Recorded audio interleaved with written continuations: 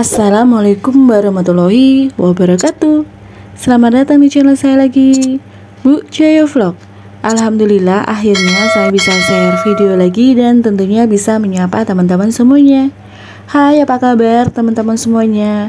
Semoga kita semua selalu diberi kesehatan dan keselamatan Dan juga diberikan kelancaran dan kemudahan Dan apa yang kita harapkan selama ini segera terkabul ya Amin. Baik teman-teman, sebelum ke topik pembahasan, nah ikutin aku dulu ya untuk unboxing paketan saya untuk kali ini. Untuk paketan kali ini saya unboxing kipas angin dinding ya teman-teman dan kipas angin dinding ini nanti ditaruh di kamar anak saya. Kebetulan kipas angin ini saya dapat harga promo ya teman-teman dan ini harganya itu di bawah 150 ribu. Tentunya kualitasnya juga nggak kaleng-kaleng Buat ya. teman-teman yang mau samaan sudah saya siapkan untuk link kipas anginnya itu di kolom deskripsi. Teman-teman bisa cek di situ. Sesuai dengan request, untuk video kali ini saya akan share cara jualan di GrabFood yang bikin kebanjiran orderannya. Perkembangan industri kuliner kini itu cukup pesat dengan adanya platform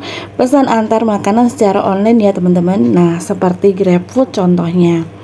Nah, melihat fenomena ini penting bagi setiap pemilik restoran memahami bagaimana cara berjualan di GrabFood agar penghasilannya itu optimal ya, teman-teman. Nah, GrabFood menyediakan berbagai promo dan diskon menarik yang dapat membantu para pemilik toko atau resto untuk memanjakan pelanggannya.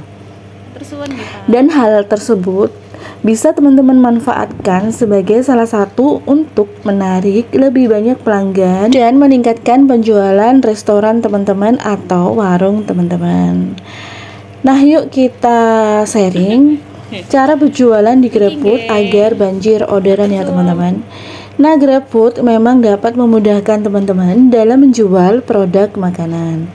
Namun, teman-teman pun perlu strategi ya yang baik agar penjualan kita yang di itu bisa maksimal. Pertama, mainkan kata kunci pada nama restoran atau warung teman-teman ya. Hal pertama yang perlu dilakukan adalah memasukkan kata kunci dalam nama warung atau restoran teman-teman. Nah, meski terkesan sederhana, namun hal ini sering kali luput ya dari perhatian penjual. Nah, sebagai contoh, misalnya di usaha saya sendiri ya teman-teman. Jadi saya kan memiliki usaha pisang keju dengan nama Bu Cahyo gitu ya. Nah, dalam mencantumkan nama di GrabFood, jangan hanya sekedar Bu Cahyo aja, tapi lengkapi dengan pisang keju Bu Cahyo. Nah, dengan memasukkan kata kunci pisang keju dalam nama restoran, maka restoran teman-teman akan muncul pada pencarian GrabFood ya teman-teman saat user mengetik kata pisang keju gitu. Nah, ini video pada saat ini itu saya ambilnya itu di malam hari ya ketika saya itu berdua keluar sama Pak Su uh, healing tipis-tipis gitu ya. Jadi saya coba kuliner deket rumah saya gitu. Murah banget ya teman-teman. Ini nasi bebeknya itu cuma 10 ribuan aja. Lumayan ya buat mood buster gitu ya. Nah lanjut ke pembahasan. Yang kedua pastikan nama produk dan deskripsinya itu jelas Nah, setelah menentukan nama restoran dengan memasukkan kata kunci, nah teman-teman pun harus memastikan bahwa nama produk dan deskripsi yang dijual sudah dibuat secara jelas. Misalnya, ketika teman-teman memasukkan satu menu, tuliskan dalam deskripsi apa aja yang termasuk dalam menu tersebut ya. Nah, jika perlu buat semenarik mungkin. Ketiga, tampilkan visual produk yang menarik ya teman-teman. Cara berjualan di GrabFood yang tak kalah penting untuk diperhatikan adalah pemilihan visual atau gambar produk ya. Gambar produk terkadang menjadi pengaruh besar pada keputusan pelanggan. Jadi sebaiknya teman-teman menyertakan gambar yang semenarik mungkin dan pastikan real picture ya. Dan yang keempat, masukkan produk pada kategori menu yang tepat. Nah, dalam cara berjualan di GrabFood adalah mengatur posisi menu di kategori yang tepat ya teman-teman. Apabila teman-teman menjual berbagai jenis makanan mulai dari makanan berat, capilan hingga minuman, maka buatlah kategori agar pelanggan tidak sulit menemukan produk yang diinginkan. Yang kelima, berikan pelayanan ekstra. Pelayanan ekstra dapat juga menjadi faktor penentu yang akan membedakan bisnis kuliner teman-teman dari kompetitor.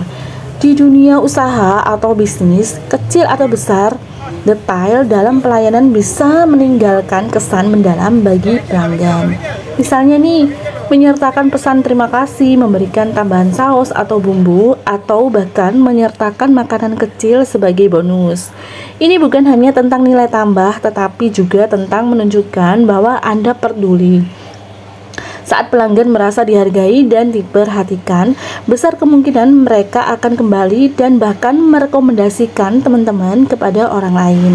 Walaupun tampak sederhana, pelayanan ekstra ini bisa memberikan dampak jangka panjang bagi reputasi dan kesuksesan usaha teman-teman. Keenam, aktifkan promo dan diskon. GrabFood menyediakan pengaturan promo untuk pelanggan. Nah, hal ini yang sering kali dimanfaatkan para pemilik restoran guna meningkatkan penjualannya. Jangan takut rugi, ada banyak strategi yang bisa teman-teman gunakan agar tetap bisa memberikan promo kepada pelanggan namun tetap untung ya. Tanpa adanya diskon maupun promo sebagai sebagian besar pelanggan pasti akan berpikir ulang untuk membeli makanan di restoran teman-teman. Nah, berikut tutorialnya untuk membuat diskon promo. Pertama-tama kita buka dulu aplikasi Grab Merchant. Kemudian muncul tampilan seperti ini, kemudian kita bisa klik di sebelah sini promosi. Masukkan PIN teman-teman Kemudian muncul tampilan seperti ini. Nah, di sini itu ada banyak ya teman-teman. Di sini itu juga ada rekomendasi promo dari Grab Merchant. Kita buka aja ya, tampilkan semuanya. Nah, di sini itu ada beberapa pilihan rekomendasi promo dari Grab Merchant ya, teman-teman. Nah, kan banyak banget ya ada 1 2 3 4 5 6 7 8 9 baik kita cek yang di sebelah sini ya teman-teman di sini itu ada keterangan resto prioritas Surabaya Nah, di sini juga ada detail tanggal mulainya, kemudian durasi minim, komisi dimulai dari 31% ya, teman-teman. Biaya dikenakan pada pesanan yang menggunakan kode promo. Baca sesuai dengan kebutuhan teman-teman ya, teman-teman. Nah, apabila teman-teman ingin bergabung, teman-teman bisa centang di sebelah sini ya, teman-teman. Nah, ini saya coba ini saya lewati dulu aja ya, teman-teman. Saya mau cek untuk promo lainnya. Kita back, kemudian kita bisa klik yang diskon kilat gajian Juli ini ya. Ketentuan promo diskon 40%, maksimal 30 sampai 35 untuk minim pembelian 50 sampai 55 ya bagi semua pelanggan.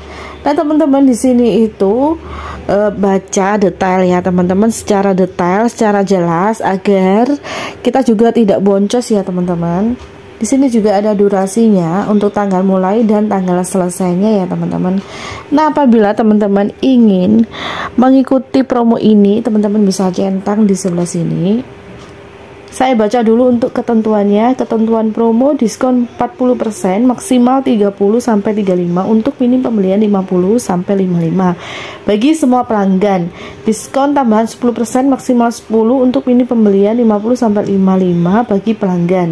Perlangganan Grab Unlimited merchant akan mendanai promo 60% kuota promo terbatas. Merchant mendanai promo 60% ya teman-teman. Jadi ini uh, kita akan mendanai promonya itu 60% nah 40% nya itu si grabnya ya saya coba ikut ya teman-teman klik gabung di sebelah sini Nah, kemudian di sini ada keterangan rekomendasi promosi Anda akan ditayangkan tanggal 27 Juli. Nah, bagus sekali Anda sudah bergabung dengan diskon kilat gajian Juli. Di sini saya akan tutorialkan cara untuk membuat promosi sendiri ya. Kita klik tampilkan semua. Di sini juga ada beberapa pilihan untuk kita itu membuat promo sendiri ya, bukan dari rekomendasi promo dari Grab. Biasanya saya itu ikut promo yang diskon item ini ya teman-teman. Kita klik. Nah ini saya akan pilih menu yang akan saya buatkan promo sendiri ya teman-teman. Nah ini saya centang di sebelah sini. Nah gini ya teman-teman. Nah kemudian saya coba cek lagi di sini nggak ada nah klik berikut Kemudian di sini itu ada dua pilihan juga. Di sini itu besarnya diskon bisa ada pilihan persentase, ada pilihan jumlah tetap ya teman-teman. Nah, apabila yang persentase teman-teman bisa tentukan, bisa pilih untuk besar diskonnya ya. Ada 10%, 15%, 20%, 25%. Di sini saya biasanya pakai jumlah tetap ya teman-teman. Nah, di sini itu saya pilih untuk uh, jumlah diskonnya. Di sini saya pilih 2000 aja. Kemudian klik berikut tetapkan tanggal selesainya ya. Ini sifatnya opsional. Nah kalau saya biasanya saya setting sampai akhir tahun. Nah biar nggak bolak balik gitu ya teman-teman. Jadi sekalian aja seperti ini. Nah saya seperti ini biasanya. Kemudian klik konfirmasi. Scroll ke bawah. Nah kalau sudah teman-teman bisa klik berikut Kemudian di sini itu teman-teman bisa baca secara detail, secara jelas ya teman-teman. Kemudian kalau sudah klik buat promo. Di sini itu promonya aktif ya teman-teman.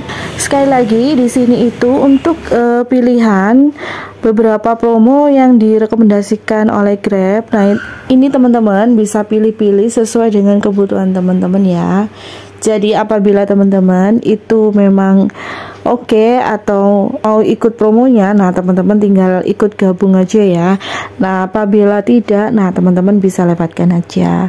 Not aja apabila teman-teman mengikuti promo dari rekomendasi Grab ini, teman-teman itu harus dipikirkan lagi ya teman-teman. Jadi biar tidak boncos saja.